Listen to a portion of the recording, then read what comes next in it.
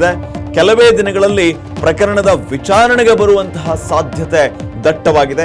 ಅಲ್ಲಿಗೆ ಮತ್ತೆ ಭೂ ಸಂಕಷ್ಟ ಯಡಿಯೂರಪ್ಪಗೆ ಕಾಡೋಕೆ ಆರಂಭ ಆಯಿತು. ಯಡಿಯೂರಪ್ಪ ವಿರುದ್ಧ ಎರಡು ಎಫ್ಐಆರ್ ಅನ್ನ ಎ ಸಿ ಬಿ ಅವರು ಸಲ್ಲಿಸಿದ್ರು.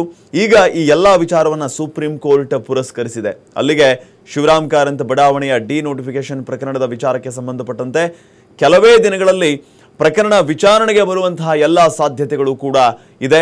ಬಿ ಎಸ್ ವೈ ವಿರುದ್ಧ ಎಸಿಬಿ ಅವರು ಎರಡು ಎಫ್ಐಆರ್ಗಳನ್ನು ಸಲ್ಲಿಸಿದ್ರು. ಈ ವಿಚಾರಕ್ಕೆ ಸಂಬಂಧಿಸಿದಂತೆ ಯಡಿಯೂರಪ್ಪಗೆ ಮತ್ತೆ ಈಗ ಭೂ ಸಂಕಷ್ಟ ಎದುರಾಗದರಲ್ಲಿ ಎರಡು ಮಾತಿಲ್ಲ. ಯಾಕಂದ್ರೆ ಎಫ್ಐಆರ್ ತನಿಖೆಗೆ ತಾತ್ಕಾಲಿಕ ತಡೆಯನ್ನು ಹೈಕೋರ್ಟ್ ನೀಡಿತ್ತು. ಆದರೆ ಎಸಿಬಿ ಈ ವಿಚಾರ ಕುರಿತಂತೆ ಪ್ರಶ್ನೆಯನ್ನು ಮಾಡಿತ್ತು. ಸುಪ್ರೀಂ ಕೋರ್ಟ್ ಈಗ ಎಸಿಬಿ ನಿಲುವನ್ನ ಪುರಸ್ಕರಿಸಿದೆ. ಎಸಿಬಿ ಸಲ್ಲಿಸಿದ್ದಂತಹ ಮೇಲ್ಮನವಿಯನ್ನು ಸುಪ್ರೀಂ ಕೋರ್ಟ್ ಪುರಸ್ಕರಿಸಿರುವಂತಹ ಹಿನ್ನೆಲೆ ಮತ್ತೆ ಕೆಲವೇ ದಿನಗಳಲ್ಲಿ ಯಡಿಯೂರಪ್ಪ ವಿಚಾರಣೆಗೆ ಬರುವಂತಹ ಸಾಧ್ಯತೆ ದಟ್ಟವಾಗಿದೆ. ಮನೆ ವಿಚಾರವಾಗಿ ಮತ್ತಷ್ಟು ಮಾಹಿತಿಯನ್ನ ಕೊಡ್ತಾರೆ ನಮ್ಮ ಪ್ರತಿನಿಧಿ ಸೂರ್ಯ ಈಗ ದೂರವಾಣಿ ಸಂಪರ್ಕದಲ್ಲಿದ್ದಾರೆ. ಎಸ್, ಸೂರ್ಯ, ಸುಪ್ರೀಂ ಕೋರ್ಟ್ ಈಗ ಎಸಿಬಿಯ ನಿಲುವನ್ನ ಪುರಸ್ಕರಿಸಿದೆ. ಈ ಒಂದು ವಿಚಾರದಿಂದ ಏನೆಲ್ಲ ಬೆಳವಣಿಗೆಗಳು ಆಗ್ಲಿಕ್ಕಿದೆ? ಈ ಒಂದು ಶಿವರಾಮ್ ಕಾರಂತ್ ಬಡಾವಣೆ ಡಿನೋಟಿಫಿಕೇಶನ್ ಪ್ರಕರಣಕ್ಕೆ ಸಂಬಂಧಪಟ್ಟಂತೆ. ಶ್ರೀಪಾದ್ ಏನು ಡಿ ಕೆ ಶಿವಕುಮಾರ್ ಅವರ ಮನೆ ಮೇಲೆ ಆದಾಯಾಚರಿಗೆ ದಾಳಿ ನಡೆದ ನಂತರ ಎಸಿಬಿ ಎರಡು ಎಫ್ಐಆರ್ನ ಯಡಿಯೂರಪ್ಪ ವಿರುದ್ಧ ದಾಖಲು ಮಾಡಿತ್ತು.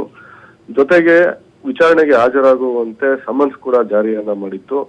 ಆಗ ಇದು ರಾಜಕೀಯ ಪ್ರೇರಿತ ಅಂತೇಳಿ ಯಡಿಯೂರಪ್ಪನವರು ಆರೋಪವನ್ನ ಕೂಡ ಮಾಡಿದ್ರು. ಎಸಿಬಿ ನೀಡಿದ ಸಮನ್ಸ್ಗೆ ತಡೆ ಕೋರಿ ಯಡಿಯೂರಪ್ಪನವರು ಹೈಕೋರ್ಟ್ಗೆ ಅರ್ಜಿಯನ್ನ ಸಲ್ಲಿಸಿದ್ರು. ಅದನ್ನ ಪುರಸ್ಕರಿಸಿದ ಹೈಕೋರ್ಟ್ ಸಮನ್ಸ್ಗೆ ತಡೆಯನ್ನ ನೀಡಿತ್ತು.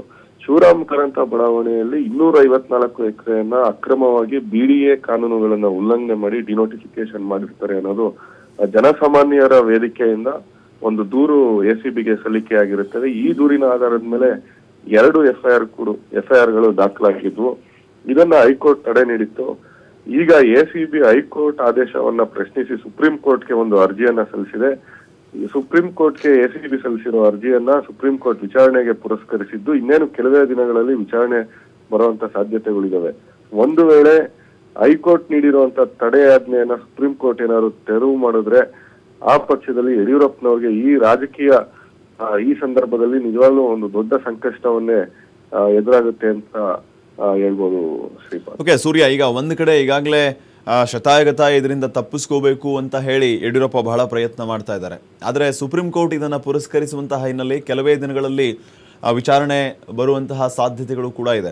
ಸೊ ಈ ಒಂದು ಗಂಡಾಂತರದಿಂದ ಹೇಗೆ ಪಾರಾಗಬಹುದು ಯಡಿಯೂರಪ್ಪ? ಕಾನೂನಿನಲ್ಲಿ ಏನೆಲ್ಲ ಅವಕಾಶಗಳಿದೆ?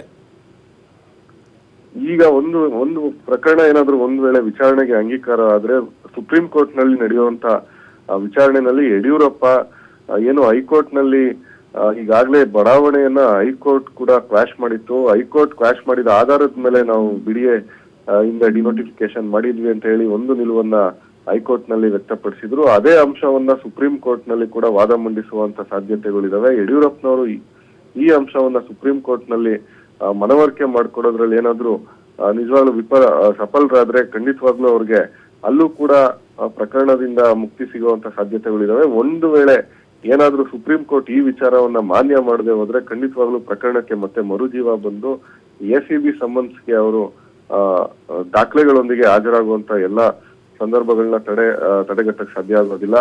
ಒಂದ್ ವೇಳೆ ಈ ಇನ್ನೂರ ಐವತ್ನಾಲ್ಕು ಎಕರೆ ಜಮೀನು ಡಿನೋಟಿಫಿಕೇಶನ್ ಪ್ರಕರಣದಲ್ಲಿ ಸುಪ್ರೀಂ ಕೋರ್ಟ್ನ ನ್ಯಾಯಾಧೀಶರನ್ನ ಮನವರಿಕೆ ಮಾಡ್ಕೊಳ್ಳೋದ್ರಲ್ಲಿ ವಿಫಲರಾಗ ವಿಫಲರಾದ್ರೆ ಖಂಡಿತವಾಗ್ಲೂ ಅವರು ಸಂಕಷ್ಟಕ್ಕೆ ಸಿಲುಕ್ತಾರೆ ಶ್ರೀಪಾದ್. ಓಕೆ ಧನ್ಯವಾದ ಮಾಹಿತಿಗಾಗಿ ಸೂರ್ಯ.